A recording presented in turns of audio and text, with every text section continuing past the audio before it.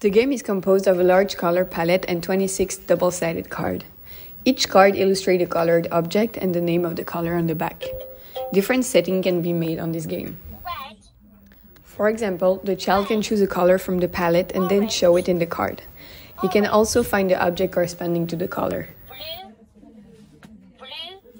Please note that there is one white and one black card in the game. White and black are not defined as color, but rather as a shade. The teacher can then talk about this topic. This game is an educational model to understanding and learning basic colors. The goal is to associate the colors with an object or identify them.